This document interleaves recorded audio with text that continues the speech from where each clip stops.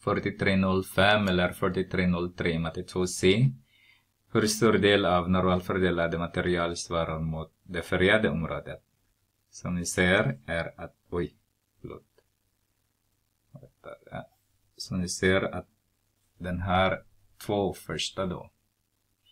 Som vi har, här är det minus 2 är det 5. Där. Det här är 9, den där är 11. Så, därför att vi måste använda dem. Information där. Okej, okay, så har vi 13 för A nu då. 13,6 procent. Och där har vi 34,1 procent.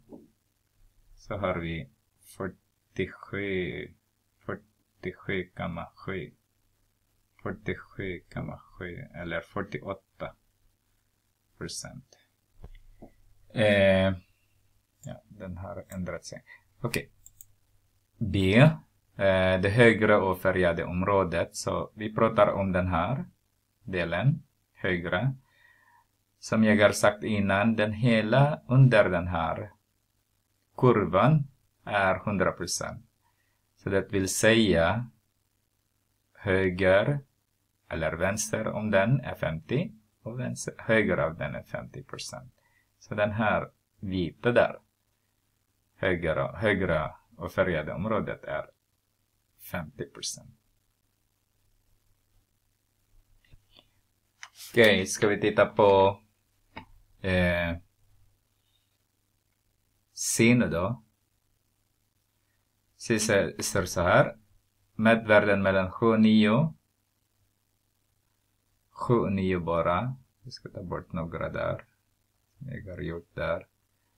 Eh, den här bara, 7 och 9. Den.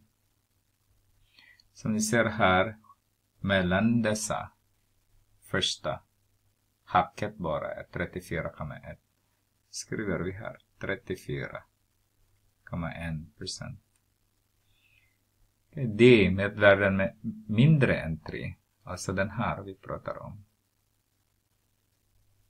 Är svansen.